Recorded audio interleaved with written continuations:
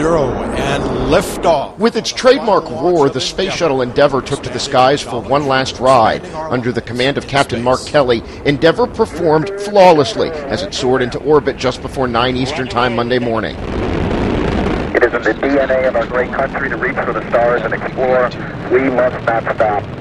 To all of the millions watching today, including our spouses, children, family, and friends, we thank you for your support. One spouse getting a lot of attention on this day, Kelly's wife, Representative Gabrielle Giffords, still recovering from a gunshot wound to the head sustained at a constituent event in Arizona earlier this year. Giffords watched her husband take to space from a private vantage point at the Launch Control Center. For all of us, we were sort of speechless during this process. So there, you know, I can't say there were a lot of words. Um, you know, during the, the viewing, but uh, but she did at the end say to me, I was sort of standing to her left, and, and she looked up at me and she said, "Good stuff, good stuff." During their 16 day mission, the six man crew will conduct four spacewalks and deliver a $2 billion magnetic instrument to the International Space Station.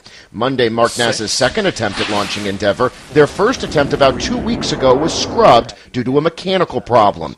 It is the second to the last launch of NASA's shuttle program, which after some 30 years will come to an end later this summer with the final launch of Atlantis. I've really challenged the team and challenged all of us to, to treat each one of these missions as much as we can, just like a regular mission. So our, you know, our job is to to look at the flight rules, look at our procedures, look at our launch countdown, everything we do. I want it to feel just like there's this isn't the last mission, but this is one of many missions to go forward. Before this final mission, Endeavour has already logged 116 million miles, spent 283 days in space, and carried 170 different astronauts.